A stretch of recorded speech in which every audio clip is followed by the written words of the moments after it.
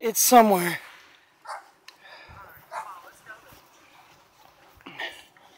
I was saying, you want to sled again? Or do you want me to do it? Okay. All right. Right there. Get in there.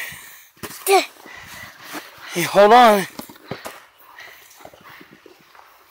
There you go. I think it's all mashed down. Now, put your legs up. Put your legs in there. You'll be fine. You'll be fine. You're on a track. Now there's a track put into the snow now.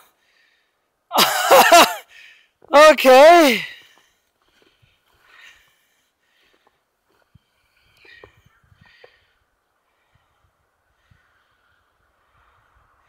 See where I sledded before? It kind of made like a track.